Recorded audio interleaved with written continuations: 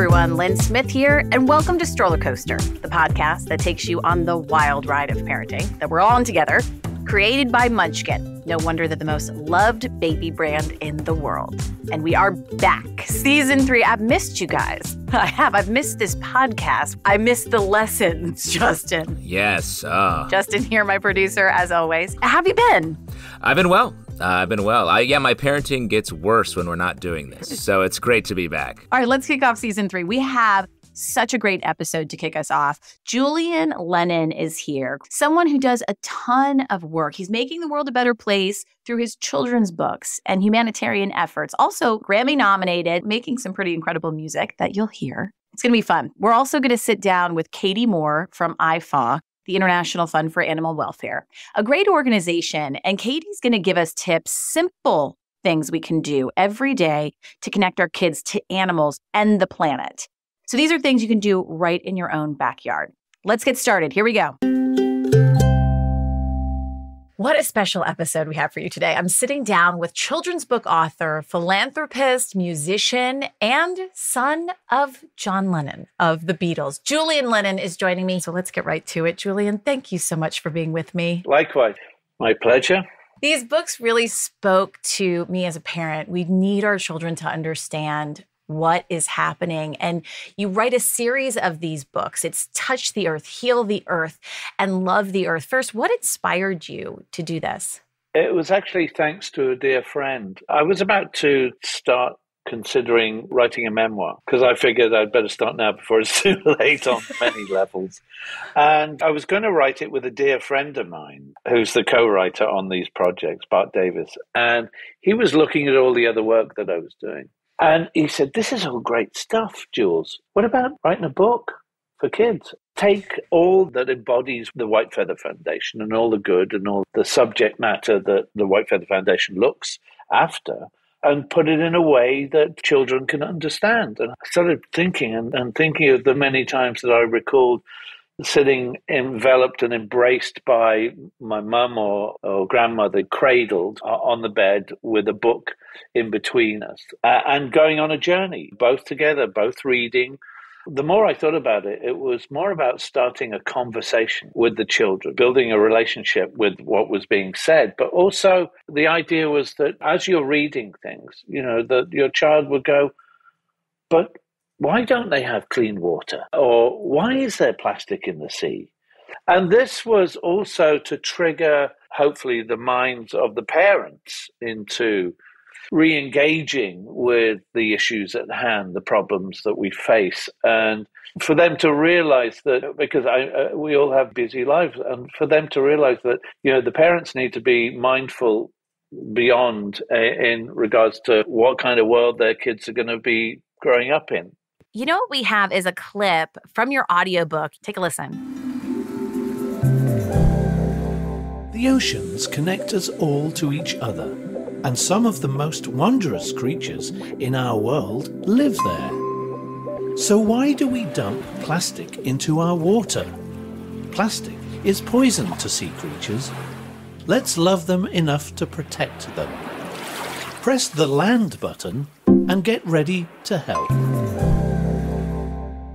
It's so wonderful. You know, one of the things I love about these books is that it sparks curiosity. It certainly did for my boys. And and it takes readers on this journey that feels interactive.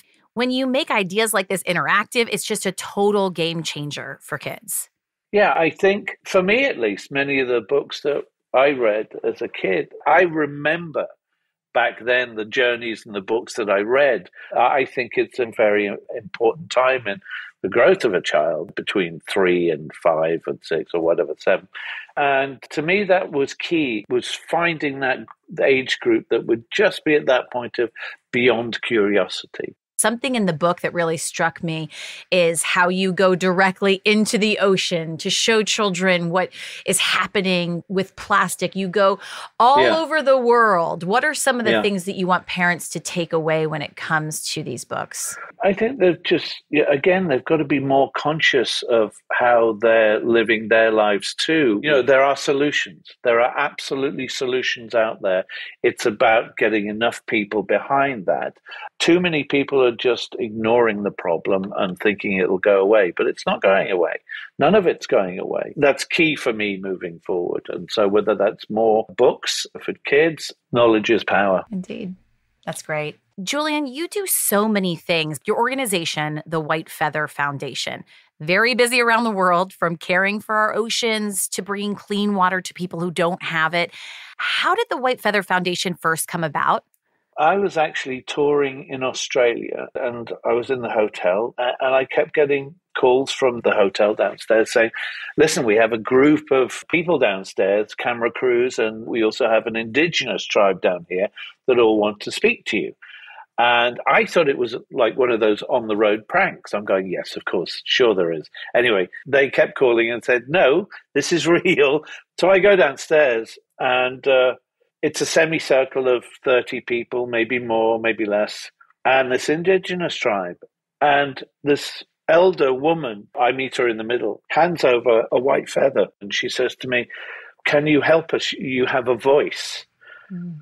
And then the question in my head was, Do I just carry on being a rock and roller or do I step up to the plate? And I said, Yeah, of course I can. For the children, of course.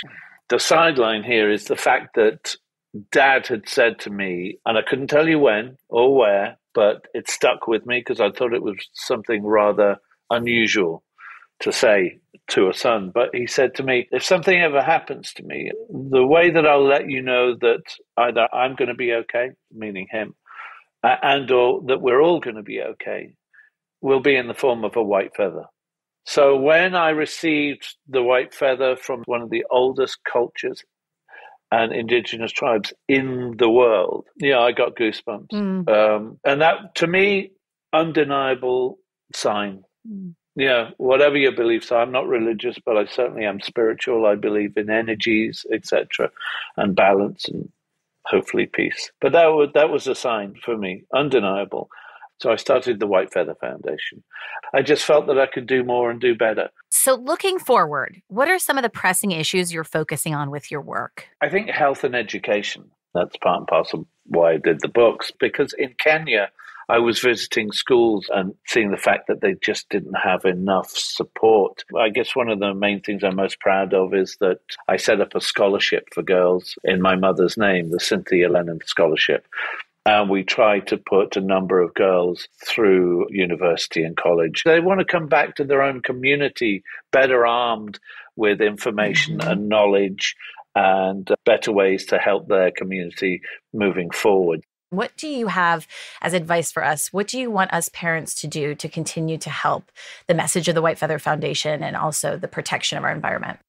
Keep pushing the idea that change is absolutely possible for the better, that it, it, can start with one person and grow to many, and anything and everything is possible if you put your heart and mind and soul to it. Every element of work that I do, a generous proportion goes to the White Feather Foundation to keep the projects alive that we do. And we survive on, on donations alone, literally donations. So from the public out there. You buy more children's books, you help the White Feather Foundation with clean water, health and education, protection of indigenous tribes and their environment and their culture and their land. So every little helps. That's all I'll say.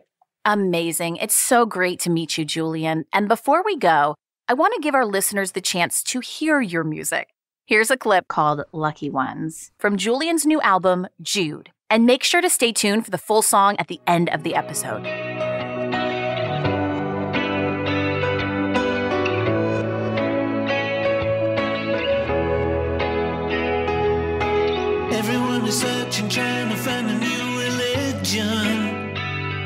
Peace of mind, peace of mind. Don't wanna let go of all of my intuition need a sign.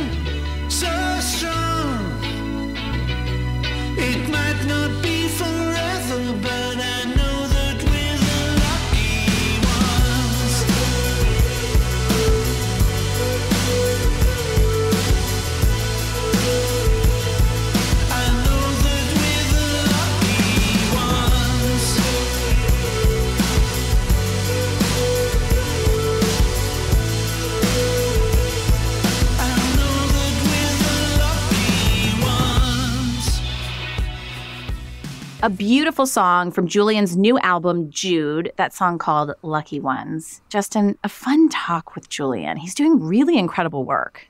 Yeah, he's sort of doing it all, it feels like. He's got his real, uh, like, world level humanitarian Mm-hmm. uh, projects and then uh, writing just a series of children's books on the side. And so interactive. That's what I think is really fun. Yeah, and uh, we actually have a special collection put together by our friends over at Munchkin that features Julian's books and some great Munchkin products. Oh, what are all the goodies? Um, all three of Julian's books, Touch the Earth, Heal the Earth, and Love the Earth. The Wild Bath Squirts from Munchkin, which are fun. A set of Miracle 360 Wild Love Cups, and a Wild Love placemat. Just a little something we put together to kick off season three. And you get all this for $73.99. Check it out. You can find the link in the show notes. Justin, the great part here sales from the collection support Munchkin's donation to IFAW, the International Fund for Animal Welfare, and the White Feather Foundation. So it's going to something really good. I'm so excited for this next interview. We all love nature here at Stroller Coaster. We love animals and also being outside. I love to do this with my children, connecting to nature. So we have Katie Moore. She's the Deputy Vice President of Animal Rescue at IFAW, and she shares with us some really simple things we can do with our kids to get them closer to nature, which I feel like we all need right now more than ever. Katie, tell me a little bit about IFAW, what it is that you do. Ah, I love my job, first of all. IFAW is a really great organization where we are focused on a combination of rescuing individual animals and conservation. So for me, I work on things like rescuing animals from natural disasters or dolphin strandings, taking animals and making sure that they're getting back into their habitat and orphaned animals. And then we're also trying to protect landscapes, whether it's rainforests or savannas or part of the ocean.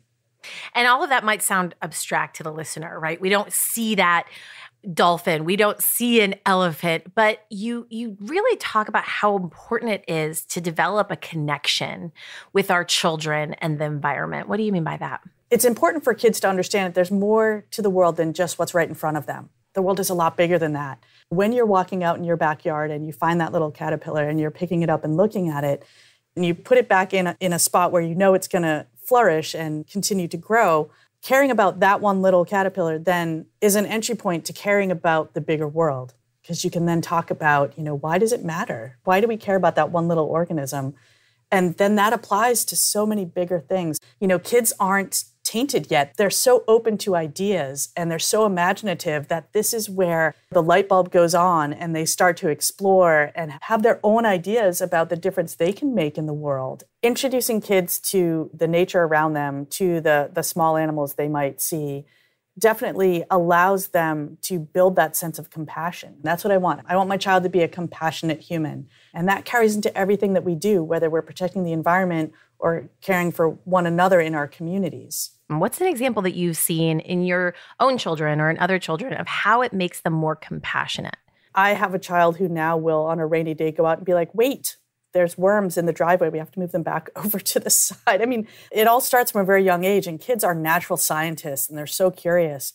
Kids can be natural nurturers too. Mm. You know, at IFAW, we're dealing with everything from elephants and, and dolphins and whales down to tiny lizards and little birds. And hmm. every one of the animals has a place in their ecosystem in the world. And that's why we want to protect them and their habitat. Julian mentioned this that real change can start with just one person. And it's kind of our responsibilities as a parent to be proactive in teaching our children how to protect the environment. What are some of the things we can do in our own backyard that would help in what your mission is at IFAW? First of all, spending more time outside, whether you live in the city and you're going to the local park, or whether you have a big backyard that you get to go explore in. Do a natural or a nature scavenger hunt. And it's great for any age. What kinds of leaves can they find? What kinds of animals might they see? Would they see a bee? Would they see a butterfly? And we actually did this during COVID because the kids needed to get outside more. Kids with a piece of paper and literally a little crayon, and they're just checking off what they've seen, and they get very excited. They're really natural learners. So, teaching them to be lifelong learners, you know, kind of raising an environmentalist. If we're looking around the world and we want to make a difference, these are the folks that are going to have the big ideas and be in a position to help us make that change. Yeah, I love you say raise an environmentalist. I mean, we all know like we teach our kids to recycle and they recycle in mm-hmm. school and they're doing all of those little things. But there are things that they can feel empowered to do on their own. Little things that I, I did with my niece when she was small for my brother's pool. She was really upset because they had little frogs and little critters that would end up in their oh. pool. And so we did some investigating and found out there are great things that you can buy or make, but they're like little lily pads. They float on the edge of the pool and they have a little bridge that goes up and they're kind of anchored with a little weight so that critters that get into the pool by accident can get out. And it's little things like that to feel like you can make that difference. And she loves it. And she's much older now, and it's still something that she's very in tune to. What about planting foods to eat? We had a oh. garden, and the boys were so excited to just run out and get like the tomatoes for the day. What does that teach them? I love this. We always have a garden. You know, it's everything from planting the seed to watering it and, and nurturing it. Mm. There's a sense of pride that they get from, oh, I'm, I'm doing this. And then you harvest.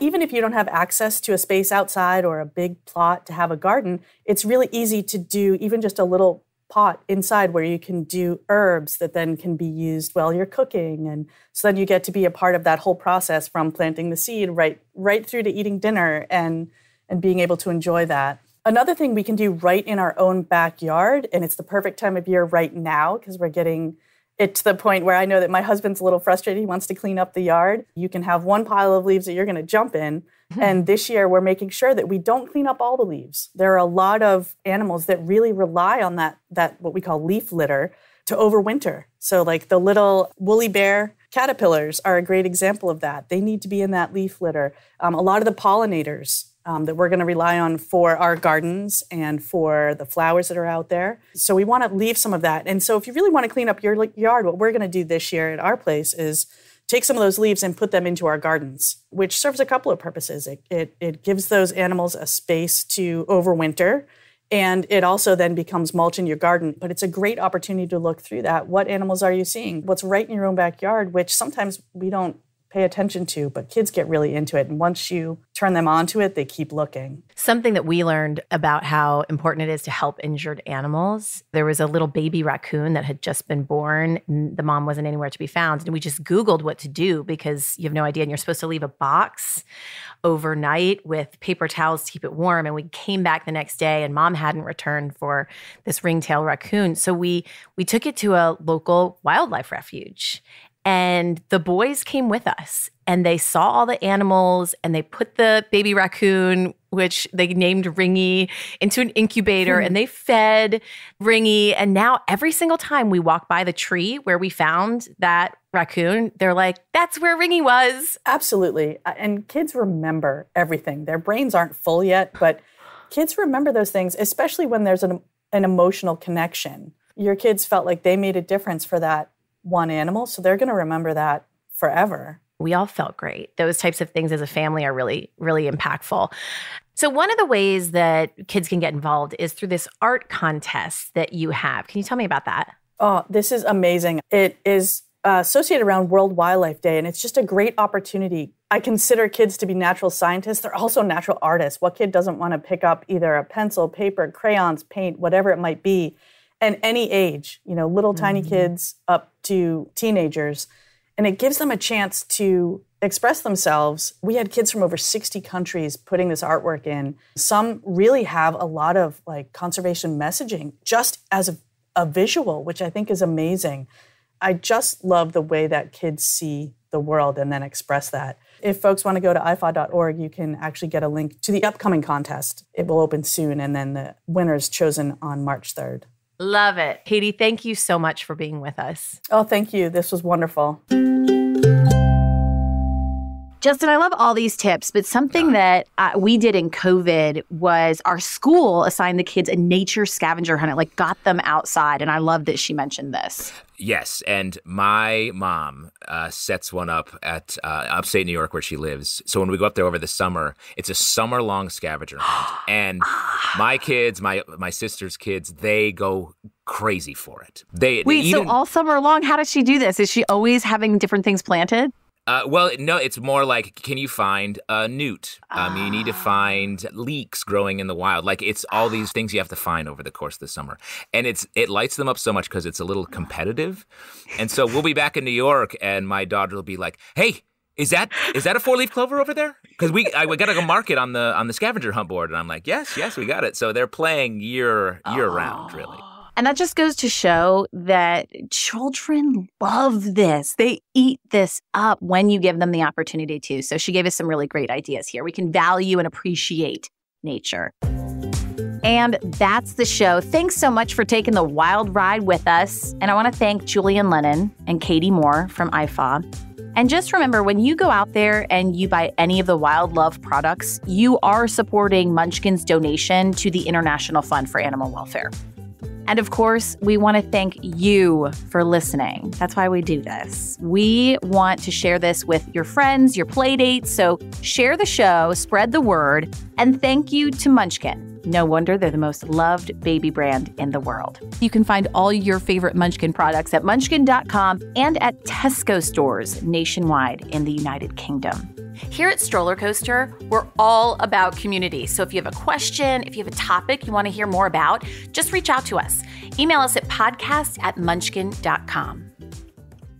Okay, Justin, you got to let people know about story time. This is so fun for the parents and their kids. Yes, um, we have a bonus for you. Stroller Coaster Storytime is a podcast we do that's perfect for kids. We take your classic children's stories and fairy tales and we update them, make them fun and funny. Uh, Lynn, you're familiar with Little Red Riding Hood. Well, sure.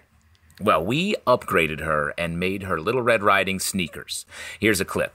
Little Red Riding Sneakers didn't get very far into the big, big woods when she saw the wolf. Hello, Little Red Riding Sneakers. Ooh, your sneakers are looking fresh. So fresh. So fresh. Ah, that's adorable. That's what's so fun about it. It's creative. Exactly. And you can find Stroller Coaster Storytime right here in the same feed. And now, something we do every show it's the moment of calm where we just take a break. And in honor of our guest, Julian Lennon, let's take a listen to more of his song, The Lucky Ones, from his new album, Jude. So sit back, relax, and enjoy.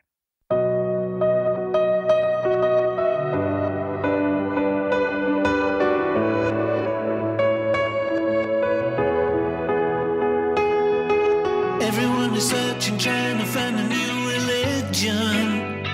Some peace of mind, peace of mind. Don't wanna let go of all of my intuition. I need a sign love is blind.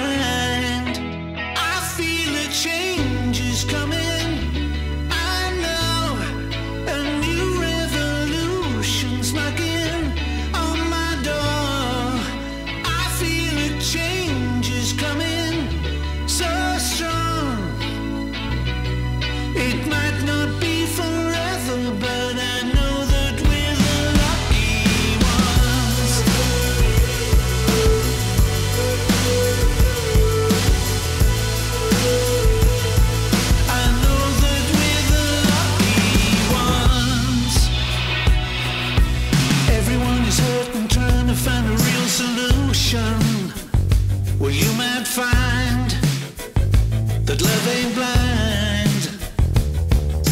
The world is burning while we're dancing in our own. Well, is it time? Or did we cross the line?